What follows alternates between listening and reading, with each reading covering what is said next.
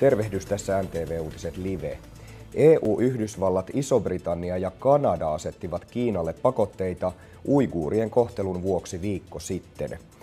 Kiina asetti välittömästi vastapakotteita EUlle sekä Isolle Britannialle. Esimerkiksi ruotsalaisjätti H&M-liikkeitä poistettiin kiinalaisesta karttapalvelusta. Kiinan boikottien kohteena ovat olleet lisäksi ainakin Adidas, Tommy Hilfiger ja Nike. Myös suomalaisen Marimekon on epäilty joutuneen painostuksen kohteeksi. Kansalaisjärjestö fin, Finwatchin mukaan tiedossa ei kuitenkaan ole, että nimenomaan Marimekkoon olisi kohdistettu toimenpiteitä. Marimekon nettisivuilla oli aiemmin uiguurien ihmisoikeuksiin liittyvä lausunto, mutta nyt yhtiö on sen poistanut. Tutkijan mielestä lausunnon poisto vaikuttaa reaktiolta muihin brändeihin kohdistuviin toimenpiteisiin. Marimekon verkkosivuilla oli tosiaan pitkään tämmöinen lausunto, jonka mukaan he eivät hyväksy ihmisoikeussyistä tuotteissaan Xinjiangin uikuurien autonomisella alueella tuotettua puuvillaa. Ja sitten tämä lausunto katosi nyt viimeisen viikon aikana heidän verkkosivuiltaan.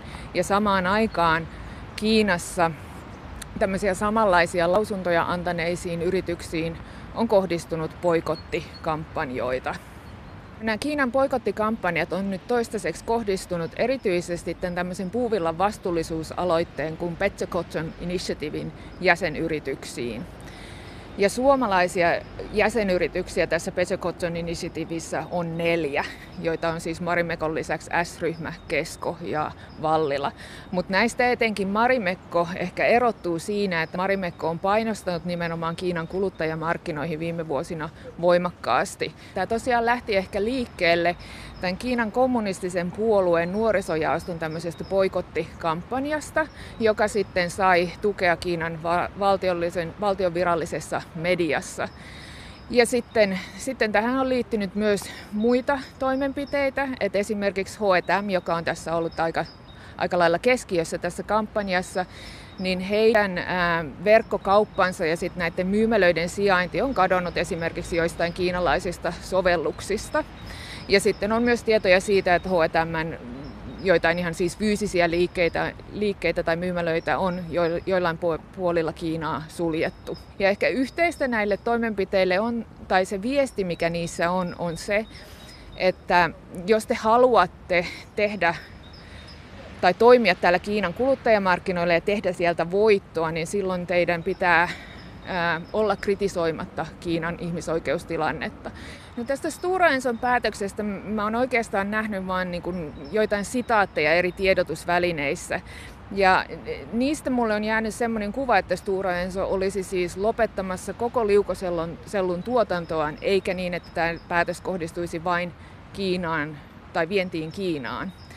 Ja sitten on ehkä jonkin verran epäselvää myös näistä lausunnoista se, että milloin tämä päätös on tehty ja millä perustein että onko tässä taustalla ihmisoikeussyyt vai kenties muut liiketoiminnalliset tai taloudelliset syyt. Uikuurivähemmistöön on jo pitkään kohdistunut erilaista syrjintää ja sortotoimenpiteitä. Ja, ja, ja esimerkiksi Kiinan tai täällä Xinjiangin alueella on rajoitettu ilmaisuvapautta, uskonnonvapautta jo hyvin pitkään.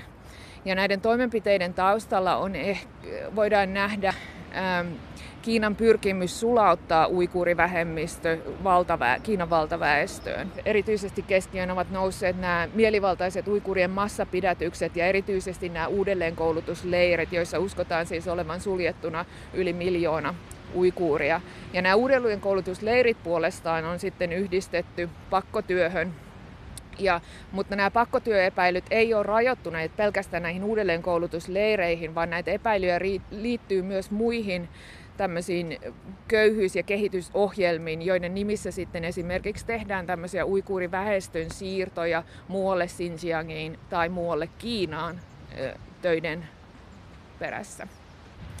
Sekä Suomessa että EU:ssa on parhaillaan tekeillä tämmöistä yritysvastuulainsäädäntöä, joka siis velvoittaisi yritykset huolehtimaan ihmisoikeuksista niiden koko arvoketjussa.